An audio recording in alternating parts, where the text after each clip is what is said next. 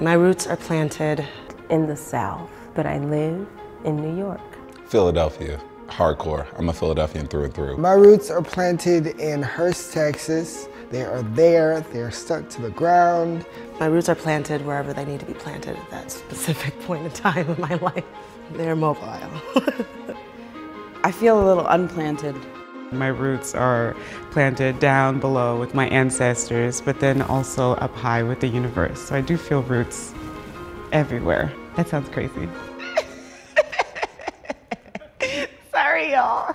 Home. Home. Home. Home. Home. Home to me is the place that I feel most safe. It is the place that I feel most loved. It is where I can be my greatest and best self. A place of peace. It is walking around butt ass naked. It is just the stories and the memories and everything that's kind of been passed down to me from my ancestors. People. That's what home is. If I knew I was leaving home forever, I would pack. Oh. I wouldn't take anything because why would I want to go to a new place and like have these old things with me? What would I bring? Tony Chachere's seasoning, Earl Campbell sausage, camellia red beans. I would have to bring, this is hard. Photographs, family photographs. Pictures, because I feel like they're the one thing that you can't replace.